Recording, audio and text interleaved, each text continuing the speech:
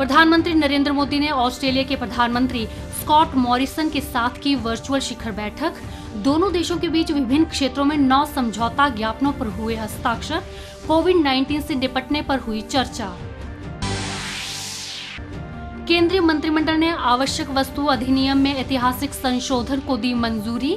अनाज, दालों, तिलहन, खाद्य तेलों और प्याज व आलू को आवश्यक वस्तुओं की सूची से हटाया गया।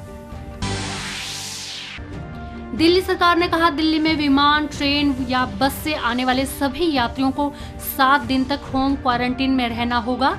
लक्षण मुक्त यात्रियों के लिए अनिवार्य चौदह दिन के होम क्वारंटीन को घटाकर किया गया सात दिन।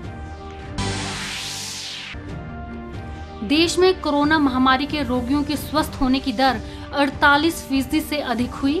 एक लाख से अधिक लोग हुए ठीक। देश में कोरोना की मृत्यु दर दो दशमलव आठ शून्य फ़ीसदी।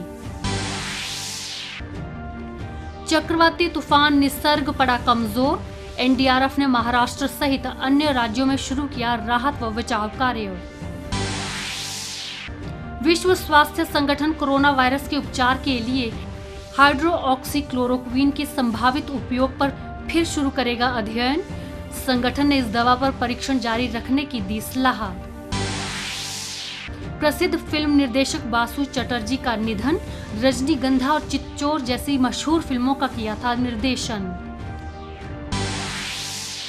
अमेरिका ने 16 जून से चीन से यात्री विमान सेवा पर लगाई रोक। अमेरिकी उड़ानों को चीन में न आने की अनुमति के बाद अमेरिकी प्रशासन ने उठाया कदम।